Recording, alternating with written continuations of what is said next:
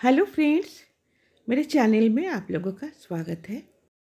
आज मैं भुने हुए चने का एक रेसिपी बनाकर दिखाने वाली हूँ। ये भुना चना है तो नमकीन, पर इसके ऊपर जब चीनी का परत पड़ता है तो नमकीन और मीठा दोनों मिलाकर एक बहुत टेस्टी स्वाद हो जाता है।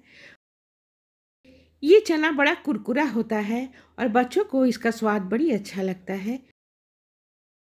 ये डिश बनाने के लिए मैंने बाज़ार से 250 ग्राम भुने हुए चने लेकर आई और इसका मैं छिलका नहीं उतारी, इसी तरह रहने दी। छिलकों में विटामिन रहता है और छिलको सहित बनाने में ही ये टेस्टी लगता है। ये डिश बनाने के लिए मैंने एक फ्राइंग पैन गैस पर चढ़ा के उसमें आधा कप पानी डालकर दो कप चीनी इसके अंदर डाल दी और अब इसको बॉइलिंग टेम्परेचर में लाने का बाद करीब लग जाएगा दस बारह मिनट। सही कंसिस्टेंसी आने में।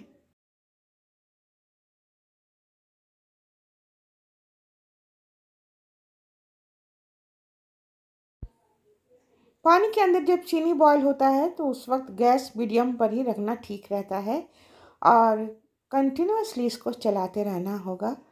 देखिए, हम लोग का करीब बारह तेरह मिनट हो गया है। कैसा झाग आ रहा है चीनी में। मैं हाथ में लेकर देखी चिप चिप कर रहा है। इसका मतलब हो गया है। मैं सब जितना भी मेरे पास चना था, उसके अंदर डाल दी, फ्राइंग पैन के अंदर। और अब खूब अच्छे से चला चला कर जैसे हर चने के ऊपर चीनी का कोटिंग पड़ जाए, एकदम कंटिन्यूसली चलाते रहना होगा। देखिएगा चलाते चलाते ये धीरे धीरे इसका टेम्परेचर लो होता जाएगा और सूख जाएगा और अंत में एकदम झरझर करने लगेगा चीनी और कोटिंग सब चने में भी अच्छे से लग जाएगा। धीरे, देखिए वाइट वाइट दिखने लगा है, इसका मतलब चीनी मेरा सूखने लगा है और मेरा पकवान भी रेडी हो गया है। अब मैं गैस बंद कर दूँगी। और नीचे उतार के ठंडा करके बर्तन में निकाल लूँगी। देखिए, पहले तो मैं प्लेट में निकाल रही हूँ।